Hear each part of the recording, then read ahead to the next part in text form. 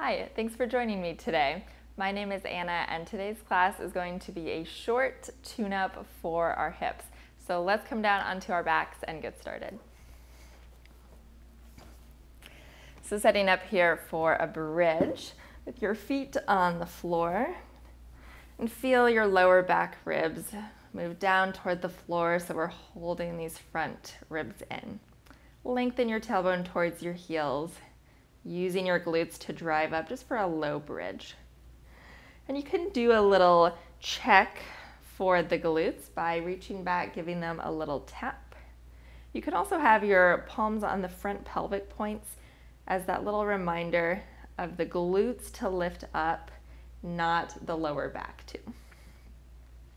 And then maybe keep your hands on your pelvis as we start to pulse in the glutes. So lower a little, and lift.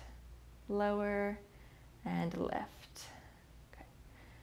And just notice here that the pelvis is staying level, so we're minimizing any side to side rocking or dropping of the pelvis.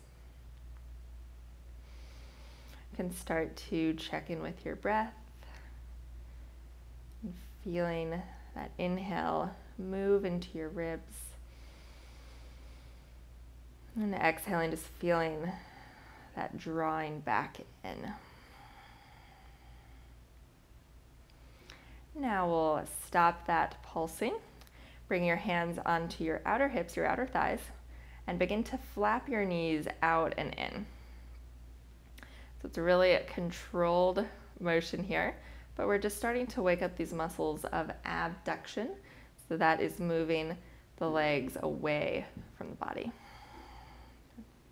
You should start to feel some good work in these outer hips.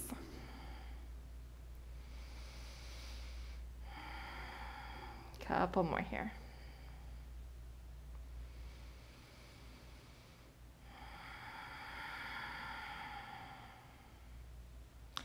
Nice. And then come back to your regular bridge. Take your hands onto your thighs with your arms straight and now we're to lower super slowly, one vertebra at a time, letting your sacrum be the last to land. Nice. So let's roll over onto your left side. You can either have a block or a pillow underneath your head or make a little pillow with your left arm. Stack your right knee on top of your left. You can bring your knees a little bit closer to you, possibly.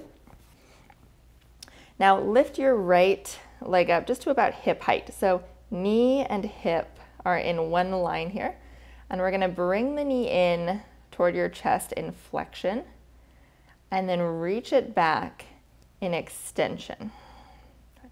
So let's go back and forth between the two. And imagine that you are sliding your knee along a low table or a coffee table or something like that so that we are keeping that line from hip to knee all the way through. So that we're really focusing on isolating this movement in the hip and not moving, say, in the ribs, the low back, or the pelvis. So we're holding those front ribs in. And you might find that that feels a little trickier, especially when you're going back into extension. Because if we're lacking the movement in the hip to do that, sometimes it'll go into the low back and we'll thrust the ribs, arch the back. So we're trying to keep all of that quiet so we can isolate that in the hip joint. Can keep that right foot flexed. Push down into the lower left leg. Last couple.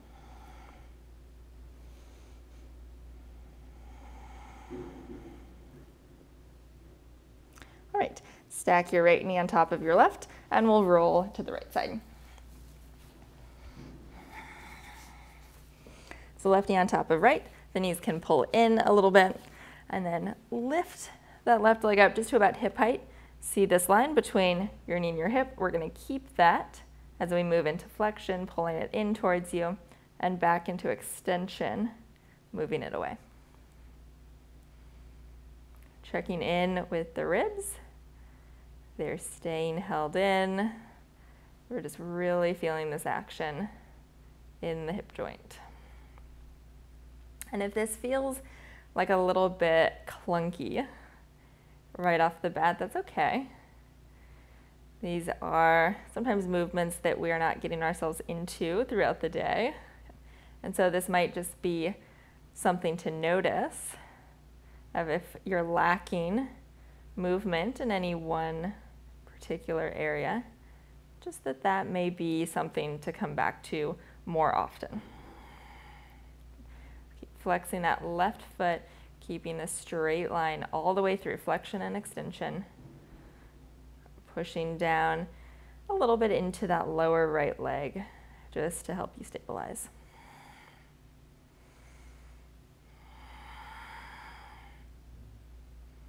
Last couple.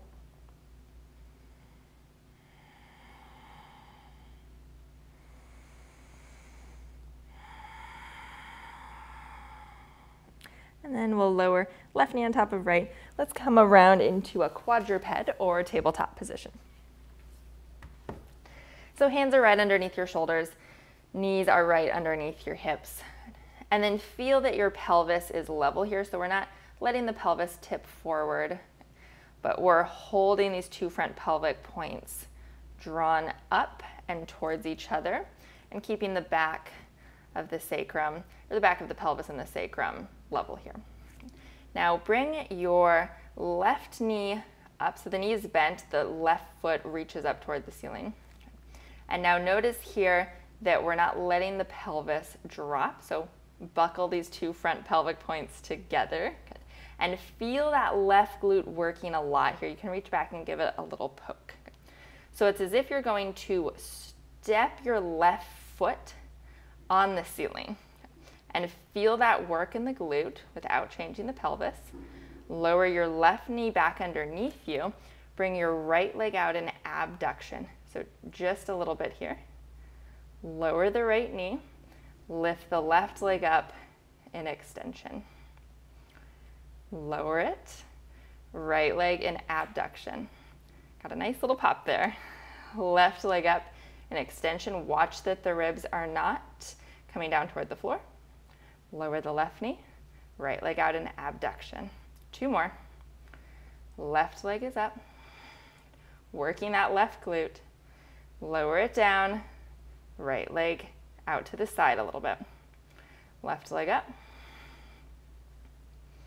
Lower it down. Right leg out. Hold it here without wagging that left hip out to the side. Hold that left outer hip in. Now kick your right leg straight out to the side and straighten the leg with the toes coming forward. So keeping the space in your left hip crease, we're gonna hinge back just to however much feels good for you and come back forward. Hinge back, come forward. Keep going with these adductor rocks here. Just working to open up some space in that right inner thigh. Keeping the spine long, the head in line so we're not jutting the chin forward, but keeping the length in the back of your neck. Nice. Now hold it here, not shifted back, but left knee under the hip. Push down into your left hand and float this right arm up, open for a nice little twist. Holding that left shoulder blade on your back ribs. You can let your head release here. Take a couple more deep breaths into this whole right side body.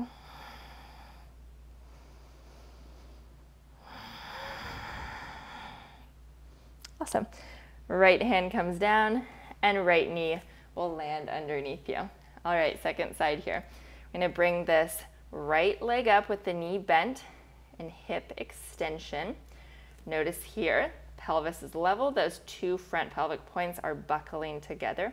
It's, it's as if you're going to stamp your right foot on the ceiling, lower the right knee down, left hip comes out to the side a little bit in hip abduction. Lower it down, right leg up in extension. Step that foot right up toward the ceiling. Lower it down, left leg out in abduction. Lower down, Right foot up. Feel that right glute working. Lower it down, left leg out. Two more here. Step that right foot up from the glute without letting the ribs drop toward the floor. Lower the knee, left leg out just a little bit. Last one here.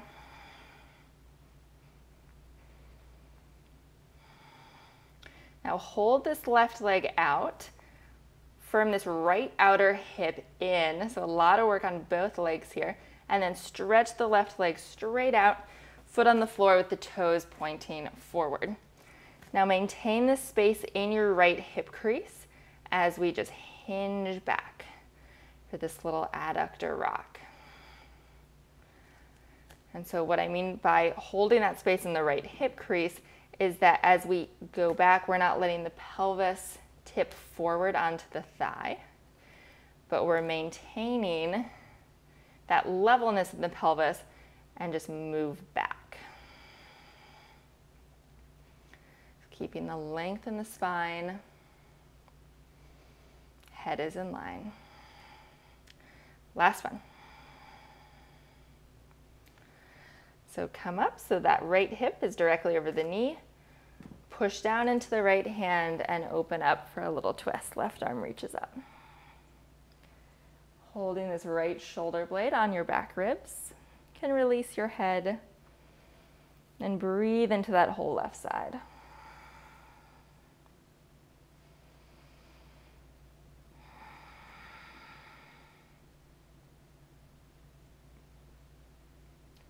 Nice. We'll bring that left hand and left knee down and let's come up for a little kneel stand. If you're feeling it in your wrist, you can always give your wrist a little bit of a circle here. Maybe a little wrist stretch. And then when you're ready in your kneel stand, check in with your pelvis here. So notice if you're tilted forward here, we want the tailbone lengthening down and this pubic bone zipping up. So we've got the pubic bone and the lower front ribs drawing towards each other lightly without rounding in your back. Now we're gonna keep that feeling. So we have this space in the hip creases as we hinge back. And then drive your glutes forward to bring you back up. So you should feel a lot of activity uh, in the glutes when you lift back up. So hinge back come up, drive those glutes forward.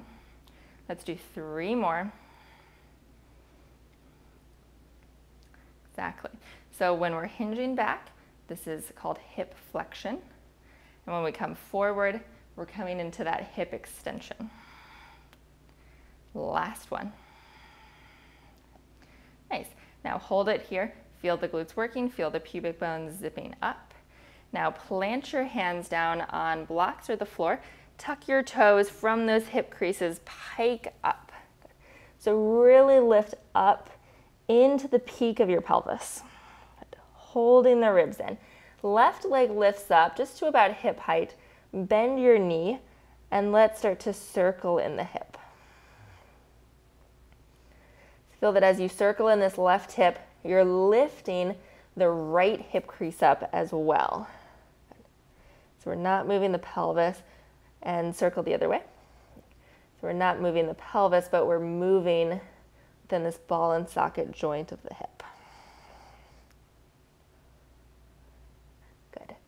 Step your left foot down, lift your right leg up just to hip height, bend the knee, and start to circle the hip.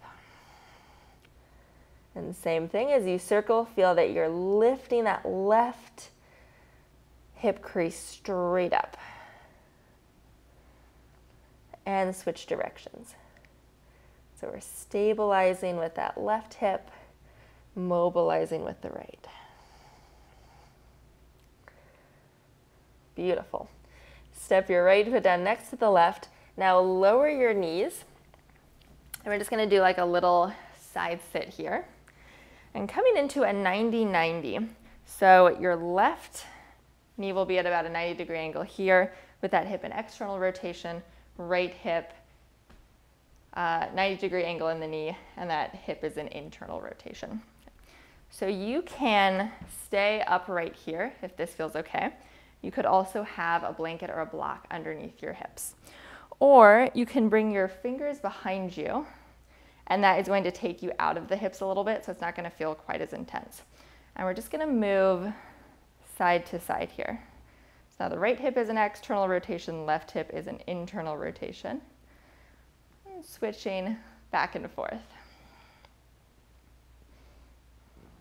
So trying to keep some length in your spine so that we can really focus on moving within that hip joint. And then if you are up right here, you can even have your arms out in front of you. And same thing there, we're trying to lift up out of the pelvis, keeping the length in the spine. And that you're just gonna feel a little bit more isolated. It's a little bit more challenging for the hips. All right, and then we're just gonna come around to a seat. And so that can be whatever is most comfortable for you. You could be seated on the floor or have your hips up on something. And just take a moment here to soften or close your eyes.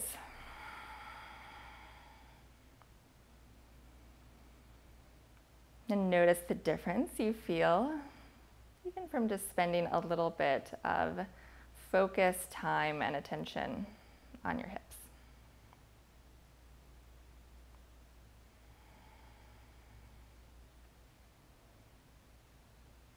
Just as you head back into whatever the rest of the day holds for you.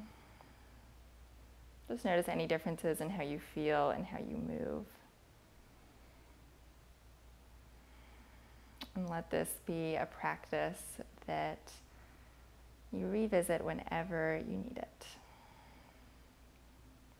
To feel more spry, more joyful, and more free not only in your hips and your pelvis, but in the rest of your body and in your spirit. If your eyes were closed, go ahead and blink them open. Thank you so much for spending this time with me. I hope you enjoyed it. I hope your hips are feeling amazing. If you enjoyed this class, it helps me a ton if you would like and subscribe and share with anyone who you think might enjoy it as well. So thanks for being here, and I look forward to seeing you again next time.